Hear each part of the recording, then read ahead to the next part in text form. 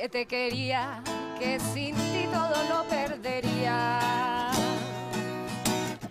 No lloro solo por llorar, diera la vida entera por reír. Qué fácil es decir que sí, qué fácil te resulta decir que no. Sueño y me parece que estás despierto y tú no me dejas en paz. Ah, ah, amor, que vuelves. a meterte en mi pensamiento, a acabar con la poca fe que me queda para vivir. Y es que tú no sabes para qué sirven los sentimientos de otra persona. Tú no sabes eso. ¿Para qué sirve eso? No sabes querer. Aquí está la talentosa y versátil Connie Cabello. Tenemos que hacer esa versión, ¿eh? Oiga, sí, así salió, eh, con todo lo improvisado, esa nos salió bien. Es un ompló. Es una Es salsita bohemia. Es que es un Es ompló. negra, Un ompló esa vida. flamenco. Connie, qué rico tenerte en la terraza bravísimo. Muchas qué rico gracias. contar con tu carisma, con tu multitalento, porque eres una multitalento. Muchas Y gracias. además que vienes a contarnos cosas chéveres que están pasando en la televisión, es decir, que hay mucho de qué hablar. Hoy nuestro tema del día es Navidad, ya nos pusimos navideños Sí. a Calicet, yo también tengo el espíritu navideño así súper hinchado. ¿Cómo vives tú la Navidad? Pues la verdad, entre el tráfico bogotano, que se vuelve insoportable, yo trato de, de- de eso, como de no moverme mucho. Los regalos, soy como muy práctica en los regalos. eh, y pues no, como creo que es una época de estar con los amigos, de Pero tener decoras. las tardes libres, la Decora familia. tu casa No y decoro es- nada, ¿No? ¿En serio? ¿Y en qué quedó? ¿No, no colgas ni una bola? ni una bola. ¿Y en qué quedó esa, esa historia familiar? Porque me dijeron que tú eras muy familiar, que tus abuelos salían a las calles a bailar, que se escuchaba mucha A las navideña. calles a bailar con este frío, no precisamente, pero se hacían fiestas en, en las casas de los abuelos, claro, digamos que yo sí recuerdo que en mi infancia la Navidad era mucho más bailable que ahora. De pronto porque ya no hay niños tampoco en la casa o hay uno tal. Antes éramos tantos niños, tanta cosa que se había como fiestas y se bailaba. Ahora no, ahora como que cenábamos, conversábamos, prendemos las chimeneas, como más ¿Qué se bailaba en esa época? ¿Qué, qué música es la banda sonora de esas navidades? Yo creo. Canciones infaltables, los niños bailaban con la tía, Sí, ahí aprendió uno a bailar eh, la música de diciembre. ¿Qué es Yo no cuál? que no sé, pues Pastor López y toda Pastor esa López, música. prepárate ahí las caleñas o algo así de Pastor Me dijeron López. que a tu papá les gustaba una de Mercedes Sosa. Que, que Pero eso era para las tertulias, ¿no? Sí, no, no, el, el Mercedes Sosa no se oía en diciembre. Ah, uno debe saber uno le- eh, eh, la línea musical de la época. Pero digamos que el, el concepto de niño Dios, de Navidad misteriosa, de alguien secreto que dejaba los regalos, No, eso, eso, no en mi ocurrió casa, en tu casa. no pasó. Mi- mis papás jamás nos metieron ni Papá Noel, ni el Niño Dios, ni nada que fuera como, que no fuera de este mundo. Eh, los regalos, pues normal, pero no había tanto misticismo alrededor de la religión. Mi familia no es una familia muy católica ni muy religiosa, así. Eh, hace mucho que no se rezan novenas, entonces... Pero pues sí, claro, la diversión, la familia, los regalos, eh, no sé, los abrazos. Es que Mi los regalos mamá- son bonitos, los regalos son un pretexto bonito para ese día, no sé. Los regalos son espectaculares y yo siempre digo, no, no voy a regalar nada, eso tan comercial, pero al final siempre termino comprando regalos porque es delicioso recibir y dar regalos. Y llegaba algún primito que le gustaba a Connie o algo, y cuando ese primito le decía, ¿bailamos? Connie, ¿qué hacía? Pues le decía, primo, primo. Ay, le papá. sudaban las manos. ¡Súbale, volumen! Tanta galeña. No, no, está con un trompo, vea. Ahí nomás. Las caleñas con su Caminar me hacen delirar, qué belleza, mira. Como una plumita se No, mueve. no, mira, se mueve solita, ¿eh? Ella se va sola. Las caleñas. Como las caleñas. Ella se va sola. Con Ibella, con Ibella. Bueno, esta inquietud artística de presentar, de cantar, de, de- de actuar, ¿cómo nace? ¿En qué momento de tu infancia o de tu juventud tú empiezas a tener esas inquietudes? Porque también en esas épocas los papás le decían a uno estudia una cosa, no sé, ontología, filosofía, algo. Yo desde muy chiquita creo que el recuerdo más antiguo que tengo de mi infancia es tipo tres años en el jardín infantil, salir a escena. Sí, yo, te- yo recuerdo estar fuera de escena y entrar a escena a los tres añitos en el jardín a reclamar, declamar algo, a, a reclamar también. Siempre hemos sido reclamones. Y ya luego pues en la vida siempre quise actuar, siempre actué en el colegio, siempre estaba actuando, ya hacía cortos, eh, cantaba también, siempre estaba en el coro, siempre, siempre, siempre estaba en esa, en esa dinámica. Mi padre me, me- me- me convenció de estudiar una carrera, sin duda, y estudié comunicación social, lo que me ayudó mucho luego en el periodismo, porque yo hice mucho periodismo, bueno, acá en City un montón, eh, aprendí a investigar, aprendí a ver la vida desde otro lugar que le da a uno mucho la comunicación social, ¿no? Le da sociología, antropología, filosofía, a dudar de los medios de comunicación y Oh, Uy, eh, y ahí me convertí también, no solamente siento que en un artista, sino que yo tengo un espíritu periodístico, aunque me dedique realmente al arte, a la música y al canto, pues soy una persona crítica que sabe en qué país vive, ¿no? Y eso creo que me lo dio la comunicación social. pues te me ves como pez en el agua en esos tres mundos.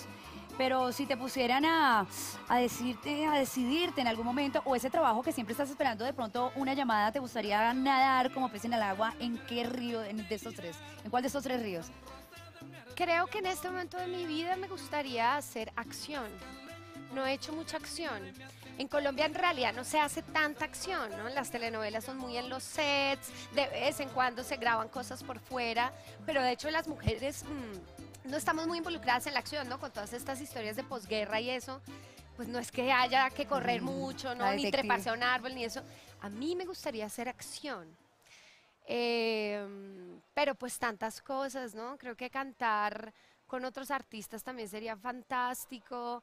Eh, ahora te- tengo como tres salsas compuestas, entonces uno de mis sueños en mi vida es tocar con una orquesta de salsa. ¿y ¿de dónde nace eso? Porque No te veo sé. entusiasmada cuando estábamos armando la No canción que vamos a no cantar. sé. Lo primero que se te vino a la cabeza pues, fue, cantemos una salsa. Pero es porque te veo a vos. Eh, ¿En serio? ¿Te Está contagias? saliendo con vos ¿O hay un caleño por ahí que, que está abriendo sus alas? No, nene, lo que pasa es que la salsa, yo soy muy yacera. Y fui muy jazzera como los últimos, digamos, 10, 15 años de mi vida, oíame obsesivamente jazz. Y lo más cercano para mí al jazz en nuestra música es la salsa. El Latin jazz. entonces, exactamente, entonces cada vez ha cogido como más fuerza en mi vida la salsa y ahora es como lo que, eh, lo escucho, digamos, si no estoy oyendo jazz, pues oigo mucha música electrónica, pero si no, salsa. Salsa brava, como esta canción que llama La Muerte del Gran. Dios mío, eso, eso es salsa pesada, ¿eh? Sí. Eso se van en los antros decadentes que yo fundé en Cali hace muchos años. Salsa. Saludos a, mi- a la cuenta que quedé viendo en el éxtasis allá en Cali. Oiga, mira, espérate, ese sonido te parece interesante, mira. Es que Eso es, es ese brillo, ¿no? La trompeta. Y los hermano. coros nasales. Ya soy la muerte, ya soy la muerte, la muerte soy. Ya soy la muerte. No, no, no. es- Entonces es- ya me queda clarísimo que, que en, ese, en, esos, en esas tres pasiones eh, las vives, las vibras de la misma manera y quieres seguir en tu vida haciendo, haciéndolas todas. Pues hoy hemos preparado como una, una muestra de esas, un top de las tres pasiones que- de claro, Connie Camel. Qué difícil que Connie es tan versátil que entonces, eh, no, las novelas, dice, no, hombre, la novela sí, pero y las canciones, pero y la presentación. Pues empecemos por un personaje que te cambió la vida, que ha sido muy positivo y a la vez una cosa ahí rara porque lo encasillan a uno, pasan cosas, pero no, hay, no- no, no cabe duda que te marcó y marcó la vida de muchos colombianos. ¿Cómo olvidar a Hilda? Ay, Dios mío. Entonces, ¿qué, Santi? Le vamos a contar a todos sobre nuestro amor. Amor significa love. Dígame, dígame, ¿sí o no? ¿Sabes qué? ¿Qué? No, no, mejor no. ¿Cómo sí, llega. Hilda a tu vida, esa propuesta? Eso fue después de mucho tiempo esperar una oportunidad para actuar. Yo presentaba aquí en City, llevaba ya varios años, tres o cuatro años presentando mucha música, ya que el Po y bueno, el videódromo. Pero llevaba detrás de actuar en tele mucho tiempo. Y bueno, aparece este casting, que era como dije alguna vez, un casting que nadie quería hacer. Porque era la, no porque era la hija fea de los reyes, entonces le habían propuesto muchas actrices famosas, muy bonitas, y pues todas dijeron como no. Entonces, pues yo, di- yo lo leí y yo vi una oportunidad de oro. O sea, a mí me encantó apenas lo leí y dije, bueno, si esto sale bien, esto es un golazo. ¿Cómo, Y así fue. cómo preparaste el casting? ¿Ya tenías el pelo corto? ¿Te lo cortaste para no, el me lo casting? corté para el casting. No puede me ser. lo corté Ah, para el para un casting. riesgo gigante. Sí, no, no, pues porque además yo tenía el pelo rosado de mucha música, mí como lo tengo ahora, de largo. Cursaba el año 2004, 2005. 2004. Y, y pues bueno, leo esto, hago el casting, no quedo porque soy muy blanca. Y entonces me meto a cámara de bronceo y luego voy otra vez y saludo desde las afueras de Ya RCN. bronceadita. Tan bella. Yo Divina. estaba pecosa, mano, yo me. Bronceada, mulata con pecas. Eso es que en la historia Hilda es como la hija rechazada, ¿no? Porque ella es, todos son morenos, o sea, Beto Reyes, Julián Román, eh, Trigueñitos. eh, todos son trigueñitos morenos y los Iriarte, los ricos eran los blancos, ¿no? A ti te decían la adoptada. Eh, a mí me decían la adoptada. Pero fuiste aguerrida, Connie, Sí, querías no. eso y lo luchaste, lo peleaste. ¿Y, y, y qué pasó? Ellos se decidieron y dijeron un día, démosle la Sí, ya oportunidad. después de tanta insistencia, eh, ya Dígale me que lo sea gané. muchachita. Sí, claro, claro. Y también en esa época estaba, em, yo te estaba entrenando mucho improvisación, que lo, que lo paradójicamente lo estoy volviendo a hacer ahora. 10 años después. Entonces yo improvisaba mucho, era un training que nos hicieron a varios actores acá en Bogotá. Y claro, yo estaba con la mente, no sé, que está muy bien, en- estaba muy Claro, bien entrenada. Entonces Mario Rivero me dijo, bueno, improvisa algo. Yo improvisa algo, cantaba, bailaba, actuaba, me tiraba. de- o sea, el tipo dijo, no, pues esta es. Y jugamos mucho con él en- mientras estuvimos grabando Los Reyes. Fue como, él, él me, me- decía, invéntate una canción con este texto. Y yo, ah, bueno, listo, ta, ta, ta, ta, y entonces salían canciones en cinco minutos. Y a Mario le fascinaba. Le- le- me- siempre me decía, ay, ¿por qué no esto cantémoslo? Yo, bueno, pero espera, dame dos minutos, al- pero improvísalo y rapéalo. Ay, no, bueno. Difícil. Bueno, en el ámbito de la presentación, a los 17 años empezaste presentando Plaza Sésamo, has hecho algunas, eh, en algunas participaciones, pero te recordamos mucho en Factor XS porque fuiste carismática, Sí. bella. Vamos a verla. con los chicos de Quema. Me alegra mucho estar con ellos. Aparte, uno de ellos me contó que yo había sido la primera persona que los había entrevistado, cosa que me alegra mucho. Qué emoción. Bienvenidos y ¿qué más? Bien, bien, aquí feliz.